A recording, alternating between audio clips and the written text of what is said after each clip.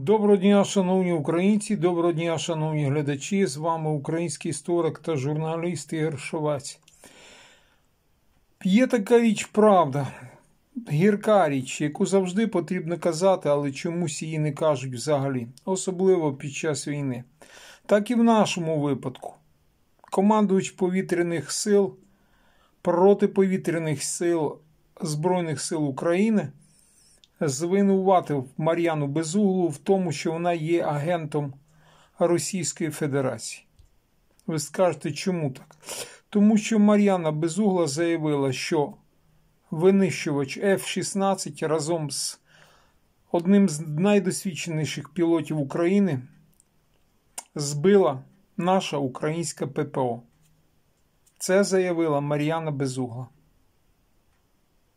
І зразу шквал критики з боку командування ППО і його командувач, який сказав, що Мар'яна Безугла агентка Російської Федерації, агентка Російської Федерації.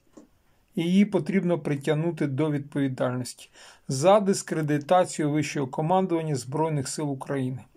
Що я скажу? Скажу про те, що після першого дня Після першого дня звірячого рашистського нальоту ракетного і дронового була інформація з рашистської сторони про знищення F-16.